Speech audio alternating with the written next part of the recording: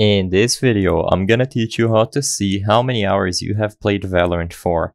It's a very quick and easy process, so make sure to follow along.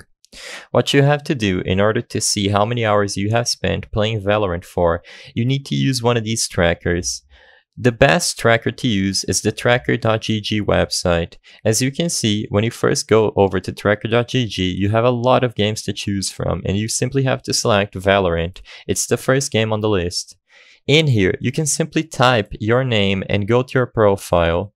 If this is the first time accessing this website or if your profile is private, you will go, you are going to get this pop-up and you need to make your profile public by signing in and acknowledging that it will make your profile public. After you do so, you will be able to access your Valorant's stats page and it's going to look like this, for example. As you can see over here at the top, the amount of playtime is going to be displayed depending on which act you select.